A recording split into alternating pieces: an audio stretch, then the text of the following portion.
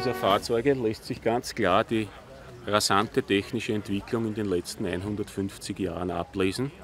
Man sieht, dass diese Fahrzeuge noch ursprünglich für die Brandbekämpfung entwickelt und gebaut worden sind. Diese Aufgaben haben sich mittlerweile jedoch sehr stark verändert. Wir haben auch zahlreiche Aufgaben im technischen und im Schadstoffsektor. Aus diesem Grunde ist es natürlich noch notwendig, dass sich das Feuerwehrmitglied umfassendes Wissen auch auf diesen Gebieten aneignet. Wie ist es eigentlich um den Nachwuchs bestellt? Wir haben eine sehr starke Feuerwehrjugend, aus der wir zahlreiche Mitglieder dann in den Aktivstand übernehmen können.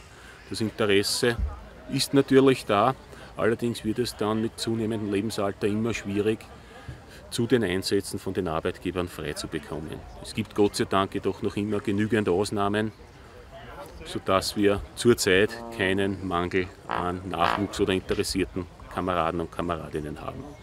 Kann man eigentlich diese extrem entwickelte technische Ausrüstung noch finanzieren? Grundsätzlich schaut es so aus, dass von gesetzlicher Seite her es Aufgabe der Gemeinde wäre, diese Ausrüstung und Ausbildung zu finanzieren. Dass das natürlich in der heutigen Zeit nicht mehr machbar ist, ist, es, ist klar.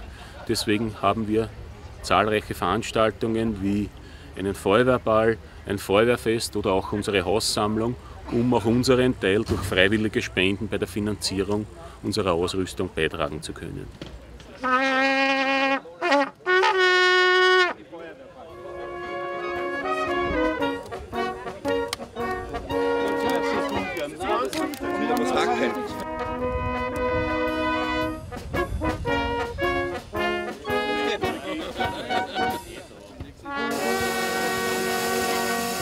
Radiowerk, das ist das Haus da vorne, Maßnahme steht da, Bach, liegt, eine C-Leitung zum Angriff fertig.